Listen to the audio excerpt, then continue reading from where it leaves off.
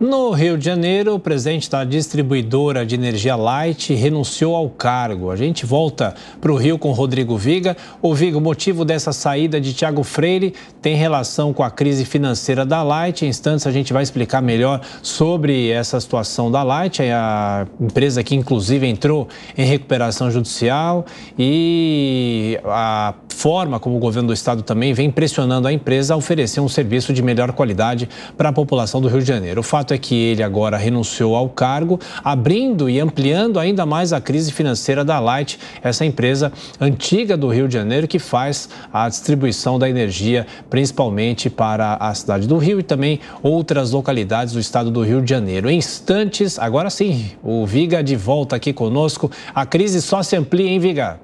Tudo bem, Tiago? Bom dia para você, para a Adriana, um bom domingo a todos. É uma situação difícil eu arriscaria dizer até que o processo de concessão no Rio e também no Brasil é, vive por um processo de crise, vive uma crise, né? Porque aqui no Rio de Janeiro nós temos a recuperação judicial é, da Light, nós temos questões envolvendo aí a devolução da concessão da malha de serviços urbanos de trens é, essa malha é administrada pela Supervia.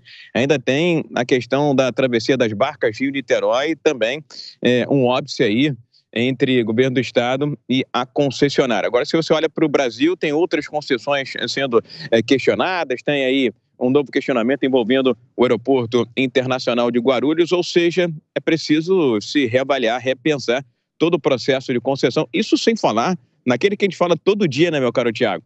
Que é a concessão do Aeroporto Internacional Antônio Carlos Jobim. O que, aconteceu aí nas últimas horas envolvendo a Light? O pedido de recuperação judicial foi feito pelo grupo, né, pela Holding Light, mas um braço dessa holding, a distribuidora de energia, a Light, que atende 4 milhões e meio de pessoas aqui no Rio de Janeiro, mais de 30 municípios, incluindo a capital, o Tiago é, Freire Gucci, ele, como se diz popularmente, pediu baixa, pediu é, para sair, pediu renúncia é, do cargo. Ele presidia a distribuidora, tinha um assento no conselho de administração e também na diretoria da empresa. Isso causou um certo furor, uma certa apreensão dentro do mercado financeiro entre analistas, uma vez que a empresa está no processo, o grupo Light está no processo de recuperação judicial. Muitos interpretaram, entenderam que poderia ser uma dificuldade que ele estaria tendo no avanço das negociações com os credores. A dívida eh, do Grupo Light não é pequena, é um passivo de 11 bilhões de reais. Muito se fala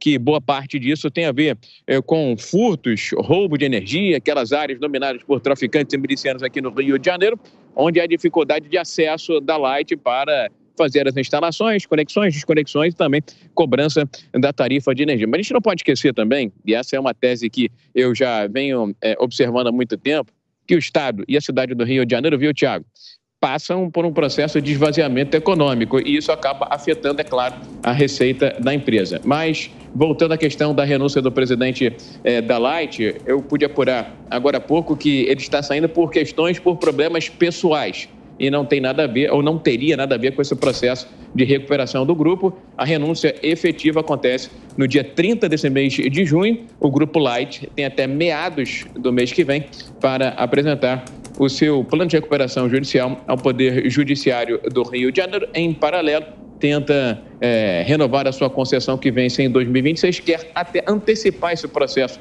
de renovação da concessão como forma de, de certa maneira, agradar aí os credores nesse processo de recuperação é, judicial difícil. É um passivo grande, expressivo, da ordem de 11 bilhões de reais, que precisa ser bem detalhado, bem tratado para que não haja novas surpresas mais à frente, né, meu caro Tiago? É isso, sem dúvida. Rodrigo Viga trazendo todo esse panorama da situação da Light no Rio de Janeiro. Bom trabalho para você, até mais tarde. Bom, Diogo Schelp, a gente aqui em São Paulo olha com mais distância essa situação da Light, mas a gente vem acompanhando e sabe que há um problema realmente, mas será que é uma, uma companhia que vem destoando desse setor energético, elétrico aqui no Brasil? Olha, Tiago, a questão da Light, obviamente, pode ter problemas aí de gestão, mas obviamente tem também questões relacionadas às particularidades do Rio de Janeiro, como foram apresentadas aí pelo Rodrigo Vigar, não é? é que é uma, uma questão que atrapalha, obviamente, a, o rendimento da empresa, o faturamento da empresa. A empresa que chegou a ter 11 bilhões de reais em dívidas impagáveis e foi aí necessário fazer essa recuperação judicial. É claro que a renúncia de um presidente nesse contexto, em meio a essa turbulência que é uma negociação, uma apresentação de um plano de recuperação judicial, é, atender todos os interesses de credores, trabalhistas, bancários, fornecedores, enfim, tudo isso é, coloca sim um, um, peso né, sobre esse plano, aumenta as desconfianças e pode até dificultar justamente essas negociações.